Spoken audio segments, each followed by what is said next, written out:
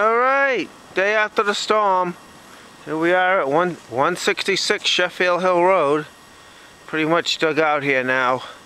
And just walk through the yard here. See all you people that are, I know, envious of snow. Uh, I'm starting to get sick of winter already. Can't go ice boating right now. Uh, unless you go up to maybe Winnipesaukee or Squam Lake mid New Hampshire, but uh, tired out from horsing that snow blower around yesterday. But uh, yeah, there's the front of the house.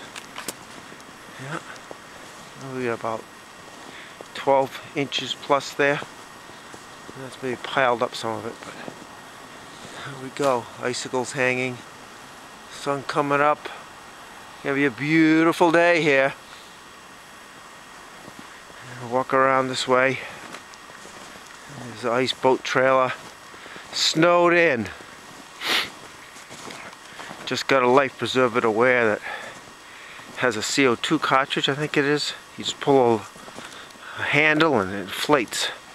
That's if you're conscious after you go through the ice, but trying to give myself all the chance for survival. Well, let's go inside. See what the damage is back here.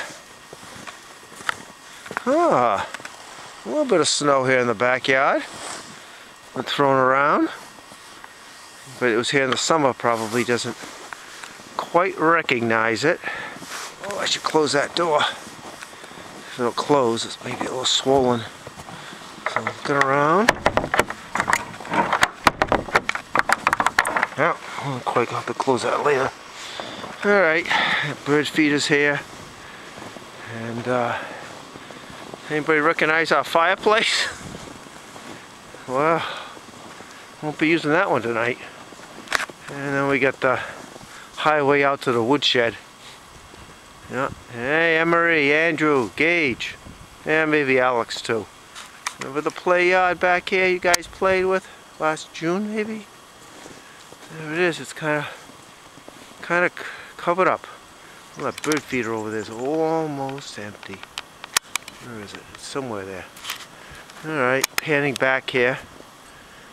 All that snow off the back south side of the house should be gone by probably 11ish or so, pretty much.